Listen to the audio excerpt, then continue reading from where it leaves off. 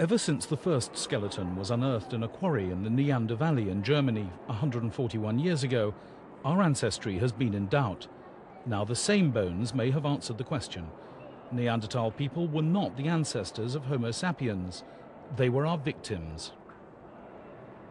Certainly not, in my opinion, our ancestors, and the opinion of this DNA team, not our ancestors, definitely. The most likely bet is that our ancestors lived in Africa and they evolved as a, a, separate line in parallel with the Neanderthal line. And our ancestors then came out of Africa about 100,000 years ago and they began to replace these more ancient lines of people outside of Africa, and that included the Neanderthals. Homo habilis appeared in Africa about one and a half million years ago. Next came Homo erectus, half a million years ago. Neanderthals arrived in Europe about 300,000 years ago. The Cro-Magnons, our known ancestors, came out of Africa 100,000 years ago. Relations, it seems, were not good. The Neanderthals were wiped out. The evidence comes from a tiny snippet of DNA, genetic material, from the upper arm of the Neanderthal skeleton it does tell us that we are quite unique as a species when we compare to chimps or gorillas in that we are all very, very closely related. We share a common ancestor very recently. So we are all, in a sense, Africans in disguise. It's the oldest genetic material ever recovered from a human. Dr. Pääbo and his team multiplied it hundreds of times until there was enough to work with.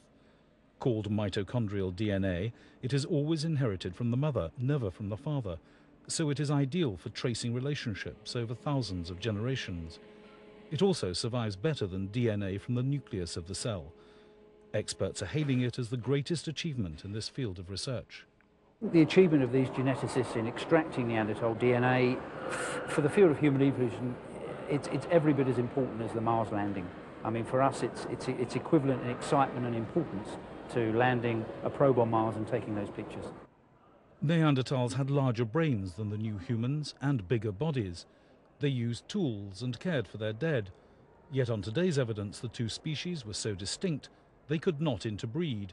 We do not carry Neanderthal genes. Could the genetic material be used to recreate a Neanderthal?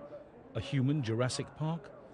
No, say the scientists, it's the wrong sort of DNA it is almost certain that this magnificent race of beings was extinguished by our forebears. It is also almost certain that it is beyond our power to undo the damage, to revive that which has gone. Andrew Veitch, Channel 4 News at the Natural History Museum.